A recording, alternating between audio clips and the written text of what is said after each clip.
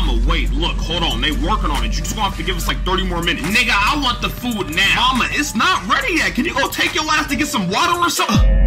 Right when they was talking, she ends up using her devil fruit on her son and literally yanks the souls from this man's body because he told her to wait 30 minutes. Make sure to watch the whole video. Enjoy. Alright y'all, check it out. We all know how these moms be in anime. And if you don't, these moms be tripping. Pretty bad too, no cap. That's exactly why I wanted to start this series on my channel. Wild Anime Moms. But in this video, we're gonna be talking about one of the worst anime moms to do it. No cap, she might be the worst. Today, we got Big Mom. She is the epitome of a disgusting human being. For the niggas that seen One Piece, you know what I'm talking about. And for the people that haven't seen One Piece, I'm gonna explain a little. Now, there is spoilers in this video. If you care about spoilers, click off the video.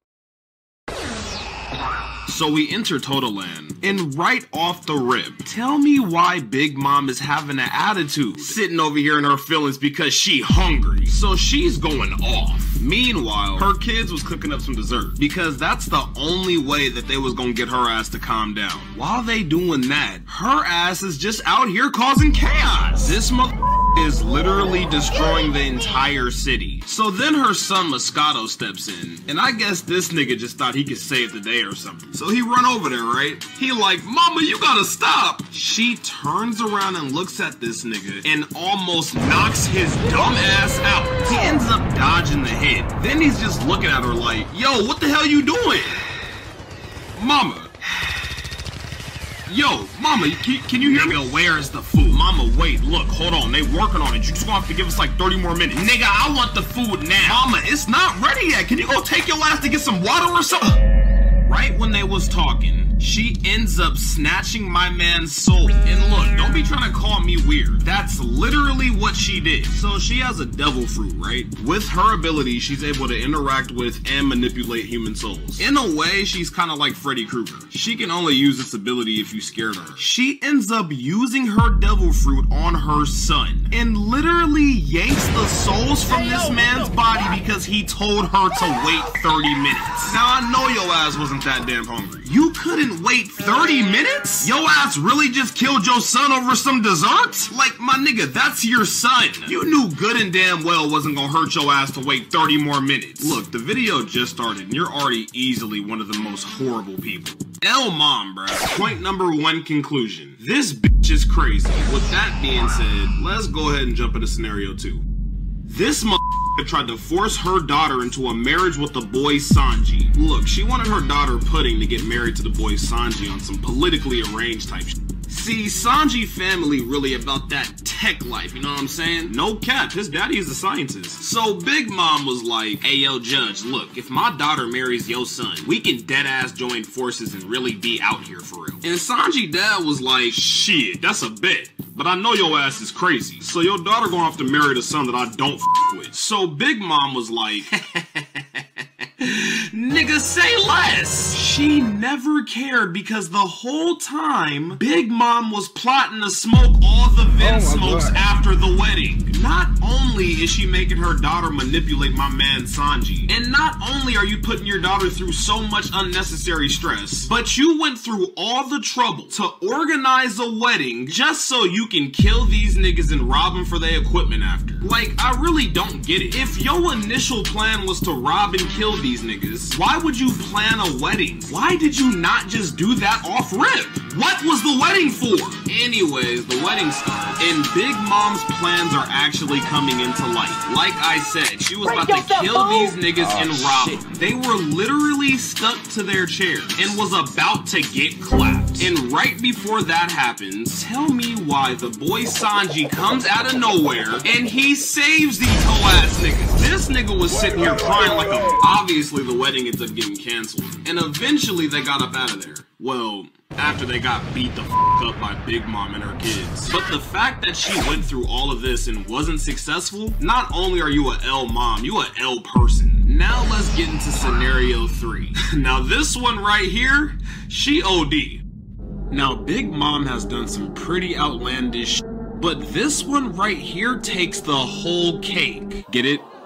Because like she She greedy as hell. Anyways, this motherfucker married a mother just to have kids. Then she just kicks his ass to the curb. This ain't the first time she did some shit like this either. This man is her 25th ex-husband. Man, you already know where she belongs. She belongs to the streets. So she ends up having twins with him. Also, his name is Pound, by the way. He sure do live up to that name too, because damn, this nigga's head gotta at least weigh a couple hundred pounds by itself. But look, she ends up having twins with him, right? Two daughters named Lola and Chiffon. And eventually, Big Mom tries to organize a political wedding for Lola. And Lola was like, nah, I'm good, fam. And ends up just running away. And Big Mom is hot, boy. She can't stand her ass. She also hates Chiffon too because she looks exactly like Lola. Anyways, after she ends up kicking Pound's big head ass to the curb, this man was so heartbroken and depressed, he ends up going to a forest and burying himself in the ground. Still got that big ass head sticking out too. So moving on, after Sanji had found out they was trying to set him up at the wedding, Luffy and them end up coming up with a plan to slide on Big Mom at the wedding. They also join forces with Gang Bege. Gang Bege is a pirate on Big Mom's crew that wants to kill her. Gang Bege is also Chiffon's husband. The same Chiffon that is also Big Mom's daughter. So check me out, this what happened. They came up with a plan, and Luffy had to end up breaking the sentimental picture that Big Mom bought to the wedding.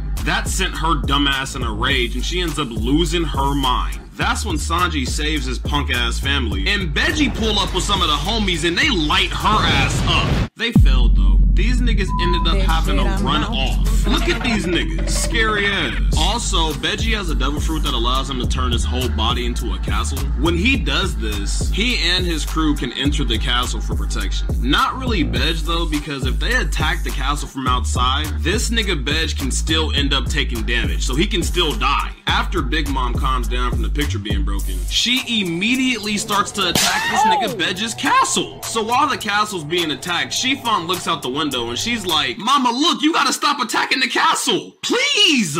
Remember how I told y'all she hates Chiffon because she looked just like Lola? Well, seeing Chiffon just made Big Mom even more mad. She was like, didn't I tell your ass not to show your face to me? And she tries to punch Chiffon's stupid ass out. So eventually Pound ends up getting out of the ground. And he sees Chiffon and immediately recognizes that that's his daughter. Bege, Chiffon, all them, they end up escaping, right? And Pound is just happy he helped his daughter escape. But right before he can get too happy, Big Mom's son offs this nigga. Straight murks him. All this man wanted to do was see his daughter. Are you telling me that this man spent the last couple of years of his life in a hole buried because he wanted to see his daughter? And as soon as he gets out and sees his daughter, you telling me the nigga dies? And you know Big Mom had something to do with this. Her kids don't do nothing unless she tells them to do it. This motherfucker was probably just following orders. I kinda just feel like Big Mom didn't get her away, so now she mad. She sees this nigga pound and she's like, uh-uh, yeah, he definitely gotta go. And now this nigga is dead. I ain't gonna lie to y'all, I can't stand Big Mom. Just go ahead and add the third point, man. God damn. Okay, guys, that's all I got for this video. If you enjoyed the content, you already know what to do. Oh, you said you don't? You you supposed to leave a like and subscribe to my channel. For real, stop playing with me. Anyways, y'all be easy, and uh, yeah.